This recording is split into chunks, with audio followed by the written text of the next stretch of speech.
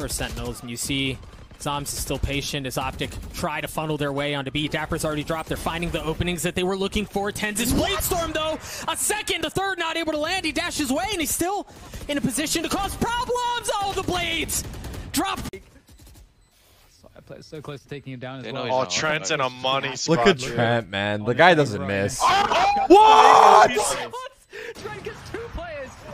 I'm gonna cry. I wanna second His cry. aim, his aim lock was too strong. Carlos is knocked out. Playing in Dish, and there's also two players doubled up in Tower.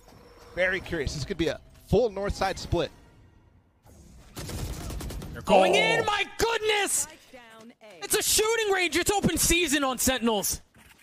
They did not expect that at all, even though that was a possibility. Trying to make their way in now, and Cypher is actually going for. Oh! Oh my god, that's a Widowmaker flick, actually. How has he done second like that? And This team is so special.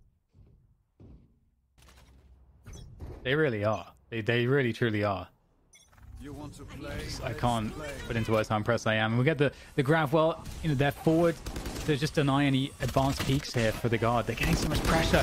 That breach. Flash! Oh my god! Trent gets everybody! And there comes the quick little no scope from Ned just to tie a nice little ribbon on